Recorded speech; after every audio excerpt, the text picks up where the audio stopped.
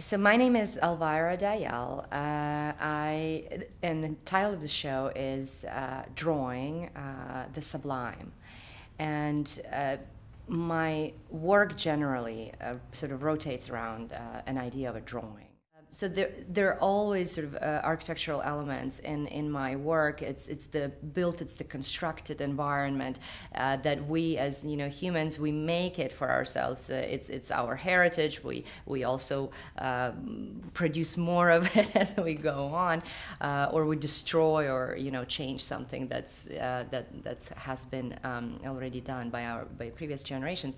And so this placement is, is uh, an ever-present question in, in, in, my, uh, in my mind as, as I make my work.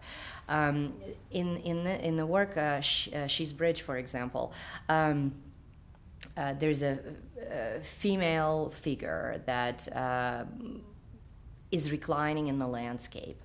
And the, the landscape uh, is, is abstracted. There, there's just hints of it.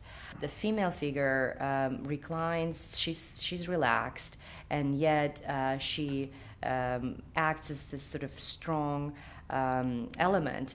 Uh, underneath her is, is a gap, it's a canyon. Uh, and uh, so she acts as, as, a, as a bridging element between, between the two land masses. And uh, at the bottom of the canyon, uh, there is the constructed sort of uh, environment. Is it um, high rises? Is it something we've made uh, that, that you know smaller? I, I, guess it's you know for the viewer, but uh, to me, it's it's these these things that we've you know as humans we've we've made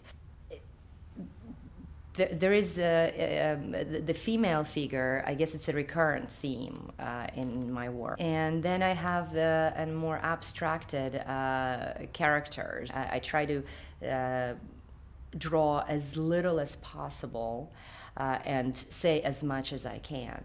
Placing those figures and uh, having other elements, uh, like, um, for example, the piece that's each one must have a dream. It's a very simple, uh, simple piece. Uh, there are practically no geometric uh, shapes except for uh, these sort of balloons there, and there are figures. Each one uh, has has a um, a balloon in there. I, I, I, like bright color. I like uh, that uh, the work when, when you place it, it draws attention, and I see how viewers uh, uh, look at it as well. They, they're drawn to it, they're intrigued. Uh, there's a lot of red, a lot of sort of open colors, and yet there's uh, a lot of gray too. Um, like I want to minimally uh, show the amount of information that and convey a certain idea.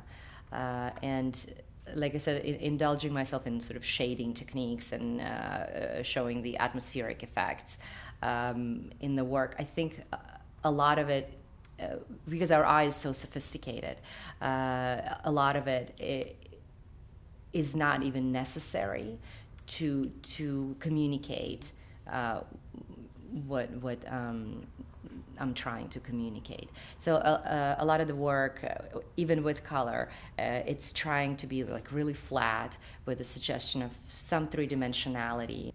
January 2013, uh, yet another school shooting happened, and. Um, and you know, I was making work, and uh, I was starting a new piece, um, and I guess I was so shaken and so um, kind of traumatized because it was it was an, it's an elementary school. Kids, uh, uh, really young kids, have died. I just became uh, a mother myself, and uh, I have. Um, so I couldn't do any other work but work about that. I guess I just started drawing this, and that's what came out. It was almost uh, like really physical and um, emotional and subconscious at the same time. Um, so I started making this uh, work where I wanted to um, think of the people who have died at first, and I guess uh, I was making the work. Uh, the, the right part of the diptych. I had these people in, in the blue. It was almost like they're underground, right? They're, uh, but they were in a coffin-like shape, but this coffin-like shape uh, acted as a window into into their um, into their presence. I mean, they're they're they're gone from from the earth, but they're still present in in our minds, in the minds of uh, you know their relatives, their close ones. And, and so this coffin, um, coffin-like shape is a window, and they still have the horizon line. They're still, you know, they're still present. They're still here. And and then I was making the other piece um, about the person who had committed the crime. Uh, uh, so the, the, the, piece on the right is uh, is called um, "Strung Up." The piece on the left is called uh, uh, "The Bloody Murderer." And when I was uh, making um, the the the left this piece, the bloody Murderer, I had a mirror image of of the coffin, a coffin shape, and and I couldn't really bring myself to. At first, I started drawing something in, in that uh, window, um, and I couldn't bring myself to to draw anything human because it, it was a, an, a horrible uh, human being who could, you know, who committed this crime and and I just went sort of crazy with the red. It was just filled with blood, um, and then uh, an idea of sort of these um, strung up boxes, uh, the blue boxes, the the coffins, I guess. Uh, when I was reading. Um, uh, recounts of uh, people of how uh, the aftermath, they because 20 children uh, have died at the same time. They had to bury 20, 20 children. They didn't have enough of small coffins to, to, to put those kids in to give them proper burial. Um, and this uh, fact is just completely um, uh, shook me. Uh, and I, I think so. Those strung up, those strung up boxes, they're just sort of that the the lack of um, enough coffins to to you know uh, but American school of um, painting, the Pollock or Rothko, uh, you know, just to name uh, very sort of um, uh, famous names, uh, I think they may have influenced my work uh, from understanding of how our eye sees the, the art. And uh, at the same time, sort of looking at Rothko and, and, and Pollock's work, I took a class on vision.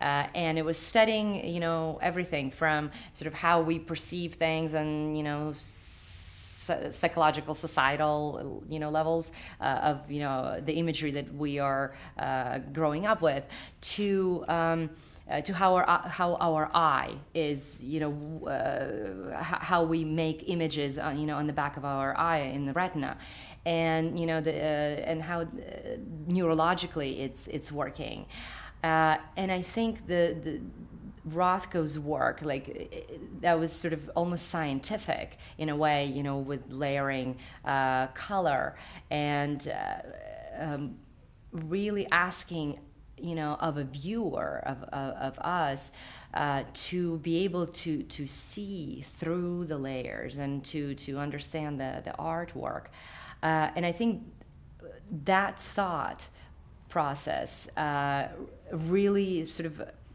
Um, informed my you know thinking of how I want to make my work.